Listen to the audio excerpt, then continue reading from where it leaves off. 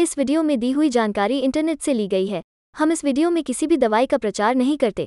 किसी भी दवाई को इस्तेमाल करने से पहले एक बार डॉक्टर से ज़रूर सलाह लें। अगर आप इस वीडियो को देखकर किसी दवा का उपयोग करते हैं और आपको कोई साइड इफ़ेक्ट होता है तो उसमें हमारी कोई ज़िम्मेदारी नहीं होगी। ऑफ्लाक्स ऑस्टेबलेट दो एंटीबायोटिक्स का एक मिश्रण है, जो सूक्ष्मजीवों को प्रभावी रूप से मारता है। इसका इस्तेमाल स्त्रीरोग इन्फेक्शन फेफड़ों के इन्फेक्शन मूत्र इन्फेक्शन और गैस्ट्रोइंटेस्टिनल इन्फेक्शन जैसे अधिक डायरिया या पेचिश के इलाज के लिए किया जाता है। ऑफ्लाक्स ऑस्टेबलेट को भोजन के साथ लिया जाना चाहिए, लेकिन बेहतर प्रभाविकता सुनिश्चित करने के लिए इसे एक नियत समय पर लिया जाना चाहिए। इसे बताए गए डोज से अधिक न लें क्योंकि इसकी ओवरडोज आपके शरीर पर नुकसानदायक असर कर सकती है।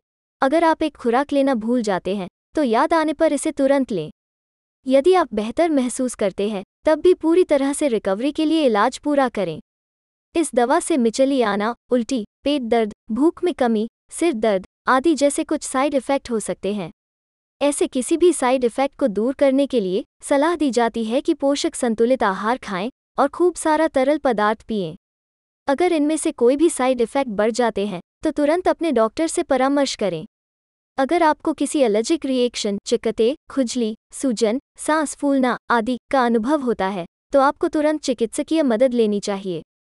इस दवा को लेने से पहले, अगर आपको अपने लिवर या किडनी में कोई समस्या है तो आपको अपने डॉक्टर को बताना चाहिए।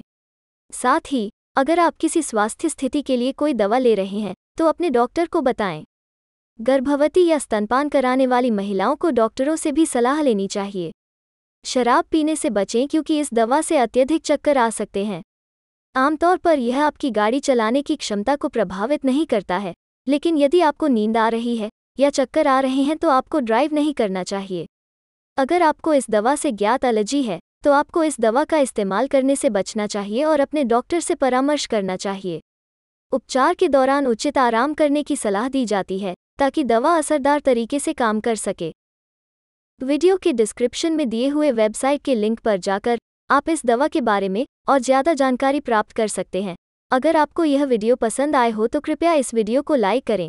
अगर आपका कोई सवाल या सुझाव है इस दवा के विषय में तो आप कमेंट में बता सकते हैं। अगर आपको ऐसे ही और दवाइयों की जानकारी के वीडियोस देखना पसंद है तो इस चैनल को सब्सक्राइब करें। साथ ही नोटिफिकेशन बेल को आल नोटिफिकेशन पर सेट करें। धन्यवाद।